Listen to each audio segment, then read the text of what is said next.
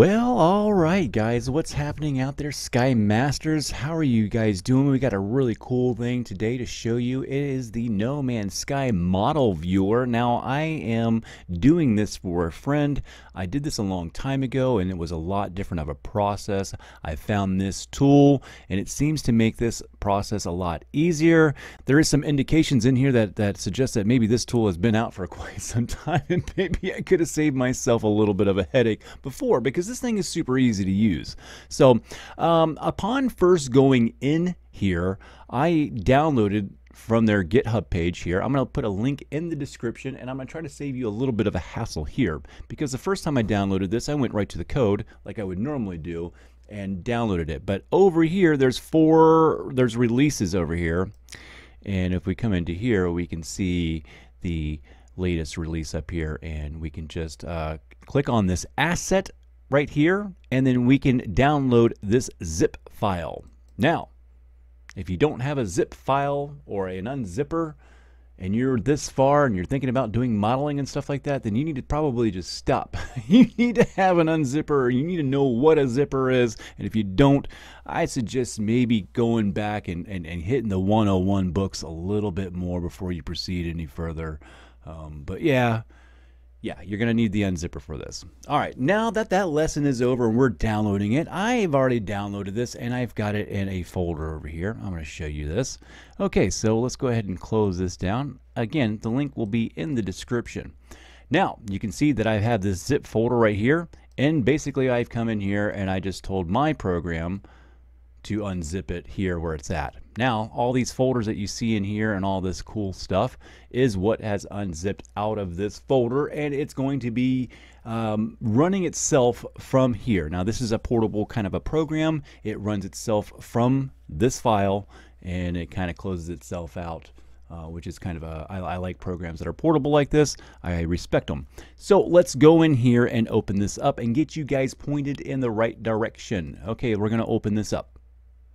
Now, when you first open this thing up, it's going to go, hey, if you don't have your No Man's Sky Steam folder on your C drive, I think it gets confused and it doesn't know where to look. If you're like me, I have my uh, No Man's Sky Steam folder on my H drive SSD, and you need to tell this program where to look. Now, in Files, open uh, up here, you can see there is an open file. Oh, nope, hold up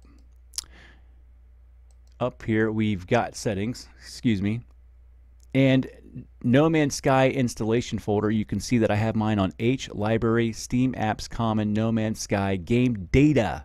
Game Data. Okay, there's three in there. I'm going to show you actually my folder. I have it on my uh, desktop here. And then you can see um, I've got my modding folder, PC.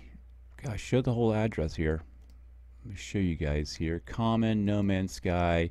See, and when you're No Man's Sky, after your comma, uh, your commons, you got No Man's Sky. You've got binaries, game data, and No Man's Sky debugger. Um, I've got this. Uh, you want to go into game data, all right?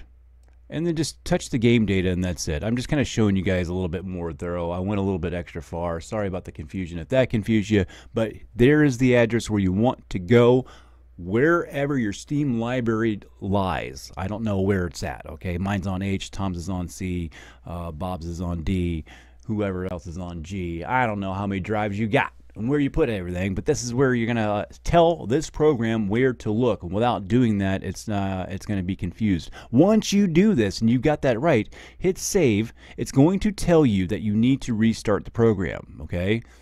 Um, I don't think it's going to do that for me now, but it's uh, the settings are saved and it's going to tell you to restart the program. Uh, so you would exit out or it'll prompt you to exit out. So exit out of the whole thing again. We'll exit out and then you'd start it back over. Now once you start it back over, it's going to load up all the models that are in that location in your game data folder. Now, what this thing does, first thing you want to do, okay, so these are up here. I'm going to show you their uh, open file from PAK. Now, in here we have a whole bunch of files. Now I've got a lot of ship modded files from Winder TP, so the first thing that comes up are all of his Winder TP's custom uh, uh, ship uh, files that are in the game right now. So these are actually not in the game. These are a mod file on PC. You can see I've got the Falcon and the X-Wing and all kinds of cool stuff. No, those are not in there and that's not what you guys get, okay? but down here you can start seeing some more assets that are in the game that are that you're actually going to see. So let's take a look at some um, uh, let's say a spacecraft fighter wings. This is a wing style it looks like. Let's go ahead and double click on this now that it's in here. Now there's one thing funny about this UI is it's very slow on the camera. It tells you over here on the right hand side of how which buttons are going to be uh, the driving the camera in this UI, which is WASD. You got vertical movement, RF, and then Q and E. It's kind of a, some standard little buttons right there at your fingertips. Now, as I'm pulling back on this, it's going very, very, very, very slow. What you want to do over here is take your camera speed and take it all the way up, and then maybe do even a camera boost slightly, okay? So now we can pull back and look at this uh, model file.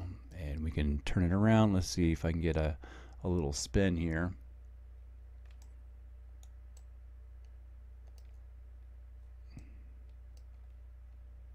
And we can see that these are the uh, those kind of rounded wings for the fighter that I don't like.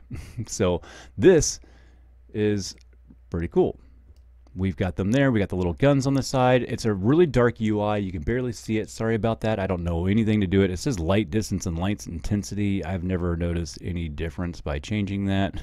you guys tell me if you find something. But here we go. We can take this and go ahead and export this to an OBJ.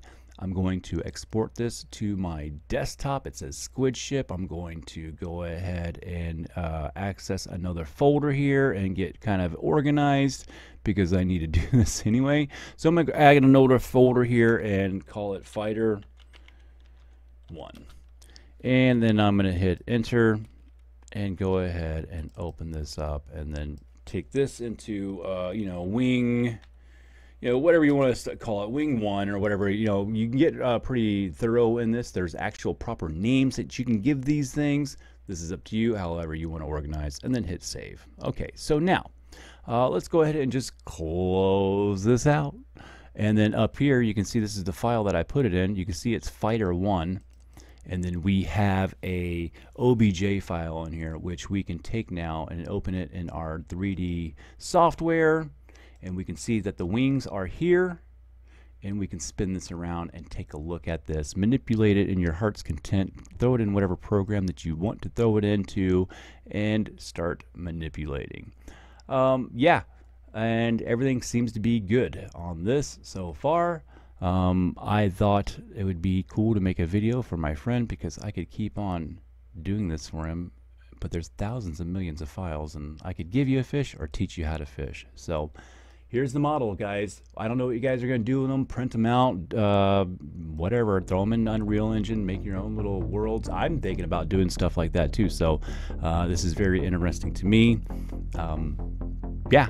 So hit that like and subscribe. I'll see you guys on the next video.